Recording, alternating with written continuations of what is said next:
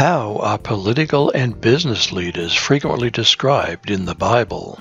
Evil national leaders are pictured in the Bible as predatory wild animals, political frauds. For instance, Daniel had a vision of four successive empires Babylon, Medo Persia, Greco Macedonia, and Rome, and their kings were all pictured as beasts. Those great beasts, which are four, are four kings which arise out of the earth. Evil rulers take and oppress. Good rulers give and set people free. How many kings, prime ministers, and presidents today could be described as predatory beasts? What about national rulers throughout human history? Like a roaring lion and a charging bear, is a wicked ruler over poor people. Does this sound like many nations today?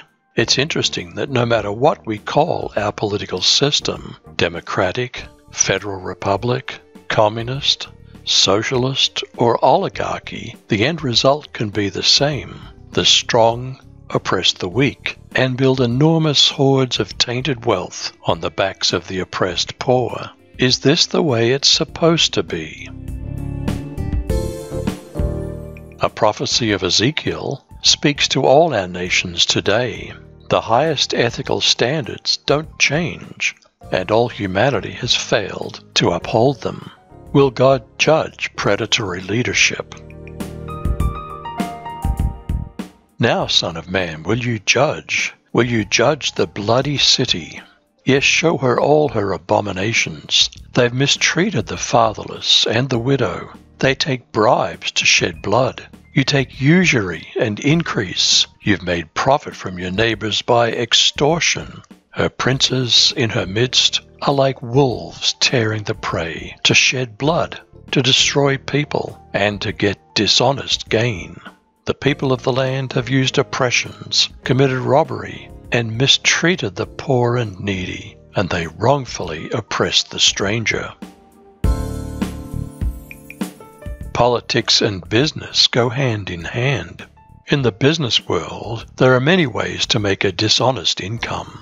Business fraud is represented by dishonest scales. Dishonest weights and measures are as ancient as commercial trade. There's nothing new about rigging a weighing machine to cheat the consumer. What are they? Dishonest scales are an abomination to the Lord, but a just weight is his delight. Ancient merchants had two different sets of weights for their weighing machines one accurate to show an inspector, and a second to swindle customers. What are such diverse weights? Diverse weights are an abomination to the Lord, and dishonest scales are not good. Israel was granted the promised land, in part because the previous occupants were totally depraved, even sacrificing their own children to their gods. Archaeology reveals the extent of this atrocity to be very great. Canaanite merchants were also known for their corruption in trade. Calling a merchant a Canaanite was an insult derived from their deceitful reputation. A cunning Canaanite, deceitful scales are in his hand. He loves to oppress. The prophet Amos records a time when the people could not wait for the festivals to be over so that they could get back to making more money in deceitful ways. What did that include?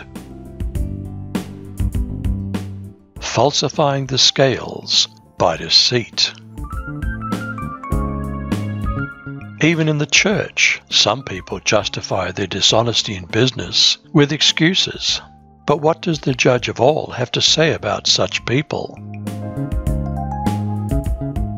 Shall I count pure those with the wicked scales and with the bag of deceitful weights? Lies destroy nations and business. Political and business fraud will soon pass. A kingdom's coming where only righteous practices will exist.